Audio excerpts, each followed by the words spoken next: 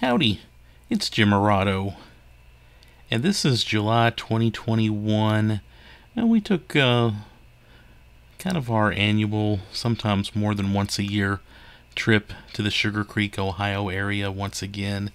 And I've put up other videos about this area, and I'm going to put up some more because I really like this area.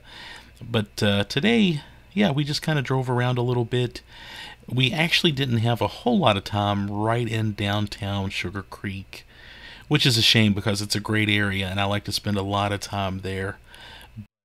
Uh, we we went down and there's mostly I just wanted to mention a couple of shops that I just discovered down there.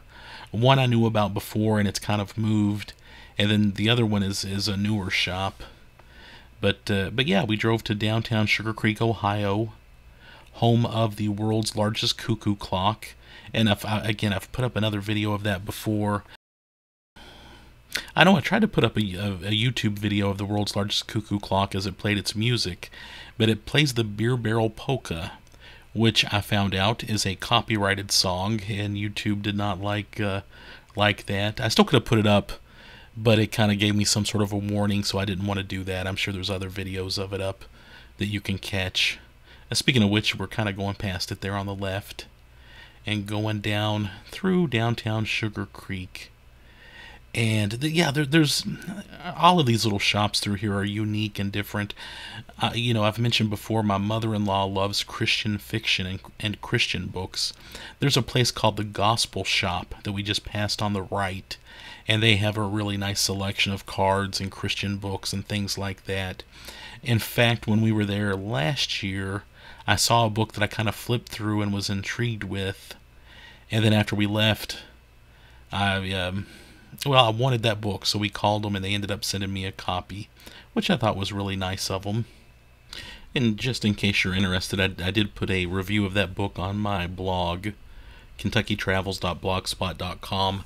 The book is called A Faithful Witness by Teresa Flora, and it's um, it's uh, kind of a view of the Civil War from a from the perspective of the uh, Brethren, which is Anabaptist, and just just a neat little book. And I'm glad I found it. It's very obscure and hard to find. Uh, I would imagine the Gospel Shop still has copies though. But but yeah, we like that store a lot. Uh, there's the cute little Stein place where they have old Steins, some antique shops, lots of cool, just cute little shops, and just a cute little town and we always go there when we're in the area. Sugar Creek is is you know more than just this little area. I almost think yeah, and there's there's the world's largest cuckoo clock on the right there. I think Sugar Creek, Ohio has kind of become almost a generic, you know, if you're in Berlin or Walnut Creek, you might generically say you're going to Sugar Creek. Uh, you know, if you're from outside of Ohio, I think that might be accurate. But you know, kind of like how the Great Smoky Mountains area is sometimes gen- generically referred to as Gatlinburg. But yeah, there's there's the clock going off. There's a little crowd watching it, and it's always a cute event every half an hour.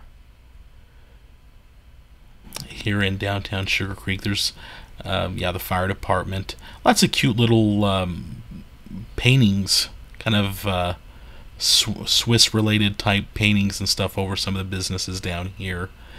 But yeah, and this, yeah, this is right out front of, um, it's a shop that used to be across the street. And I know they used to be called Finders Keepers. I think they might have changed their name in the move, though. I'm not really sure, to be honest with you. But it's a cute little store, and they've it's a fun place just to go and look around at and I, I, like what they're doing here. It's kind of small.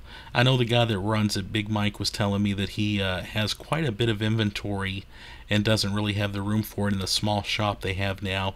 Obviously, they've got some cool museum pieces here, but they've also got you know Hot Wheels and some you know old Kiss dolls, things like that. Um, I noticed he had several of the old vintage talking Pee Wee Herman dolls that I thought was pretty cool.